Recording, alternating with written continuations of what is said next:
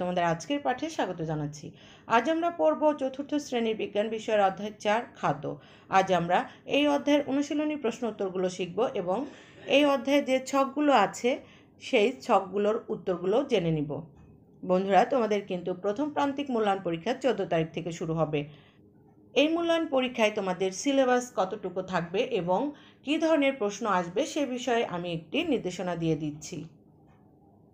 এই পৃষ্ঠাটি তোমরা ভালো করে খেয়াল করবে। এই পৃষ্ঠায় তোমাদের চতুর্থ শ্রেণির প্রত্যেকটা বিষয়ের সম্ভাব্য সিলেবাস দেওয়া হলো এবং কোন বিষয়ে কী ধরনের প্রশ্ন আসবে সে বিষয়েও একটি নির্দেশনা দেওয়া হলো। শিক্ষার্থীরা, তোমরা এই পৃষ্ঠাটি ভালোভাবে পড়বে। তাহলে তোমরা বুঝতে পারবে তোমাদের কোন বিষয়ে কী ধরনের প্রশ্ন আসবে এবং কত নম্বরের মধ্যে পরীক্ষা হবে। এবার আমরা অনুশীলনী প্রশ্ন উত্তরগুলো জানব। এক নাম্বার, শূন্যস্থান পূরণ করো। শিক্ষার্থীরা, তোমরা দেখতে পাচ্ছ শূন্যস্থানের শব্দগুলো কিন্তু আমি লাল কালি দিয়ে লিখে দিয়েছি। এক নাম্বার, আমরা পরিবেশের উদ্ভিদ এবং প্রাণী থেকে খাদ্য পেয়ে থাকি। দুই, মাছ, মাংস এবং ডিম থেকে পাওয়া আমিষকে প্রাণীজ আমিষ বলে। তিন, সুস্থ থাকার জন্য প্রতিদিন সুষম খাদ্য খেতে হবে। চার, ভিটামিন এ এর অভাব হলে রাতকানা হয়। শিক্ষার্থীরা, আমরা জেনে নিলাম শূন্যস্থান পূরণগুলো। দুই নাম্বার, সঠিক উত্তরটিতে টিক চিহ্ন দাও। এক কোনটি প্রাণী থেকে আসা খাদ্য? উত্তর, খ, পনির। দুই, কোন পুষ্টি উপাদান দেহের গঠন, ক্ষয়পূরণ এবং বৃদ্ধি সাধন করে?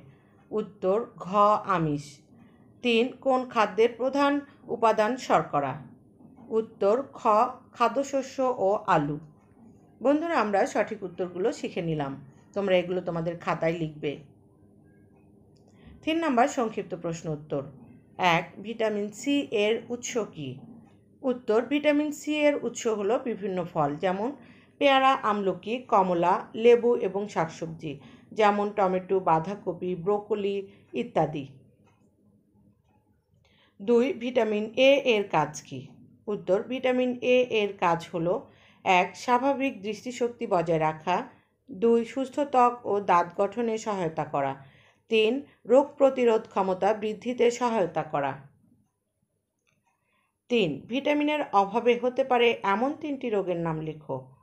উত্তর, ভিটামিনের অভাবে হতে পারে এমন তিনটি রোগের নাম হলো এক, রাতকানা, দুই, মুখের ঘা ও তিন, রিকেটস। চার, ভিটামিন বি কমপ্লেক্স কি? কোন কোন খাদ্যে এই ভিটামিন পাওয়া যায়? উত্তর বিভিন্ন ধরনের ভিটামিন নিয়ে গঠিত ভিটামিন ই হল ভিটামিন বি কমপ্লেক্স দানাশস্য, দুগ্ধজাত খাদ্য, মাছ, কলিজা, সবুজ শাকসবজি, মটরশুঁটি ইত্যাদি খাদ্যে এই ভিটামিন পাওয়া যায়। বন্ধুরা, আমরা সংক্ষিপ্ত প্রশ্নের উত্তরগুলো জেনে নিলাম। চার নম্বর বর্ণনামূলক প্রশ্ন উত্তর। এক, সুষম খাদ্য কেন প্রয়োজন? ব্যাখ্যা করো। উত্তর, সুষম খাদ্য এক, আমাদের কাজ করার শক্তি প্রদান করে। দুই, দেহের রোগ প্রতিরোধ ক্ষমতা বৃদ্ধি করে। তিন, দেহের গঠন ক্ষয়পূরণ ও বৃদ্ধি সাধন করে।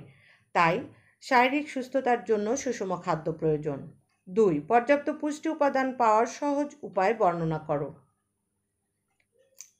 উত্তর, পর্যাপ্ত পুষ্টি উপাদান সহজে পাওয়ার জন্য আমাদের প্রতিদিন সুষম খাদ্য গ্রহণ করতে হবে।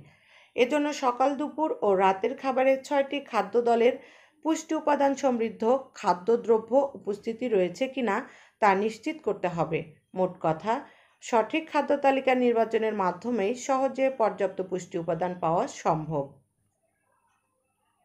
পাঁচ নাম্বার, বাম পাশের বাক্যাংশের সাথে ডান পাশের বাক্যাংশ মিল করো। আমরা বাম পাশের বাক্যাংশের সাথে ডান পাশের বাক্যাংশ মিলিয়ে লিখব।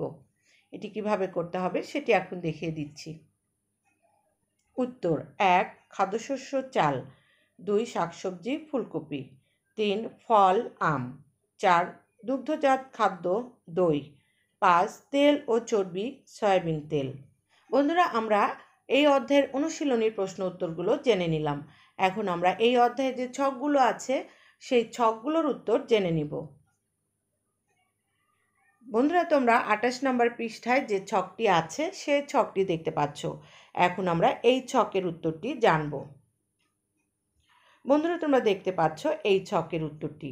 উদ্ভিজ্জ খাদ্যদ্রব্য, প্রাণীজ খাদ্যদ্রব্য। মিষ্টি কুমড়া, লাউ, ফুলকপি, বাঁধাকপি, কলা, কাঁঠাল, আনারস, ভাত, রুটি, ডাল ইত্যাদি। এগুলো হলো উদ্ভিজ্জ খাদ্যদ্রব্য। প্রাণীজ খাদ্যদ্রব্যগুলো হলো মাছ, মাংস, ডিম, দুধ, মাখন, পনির ইত্যাদি।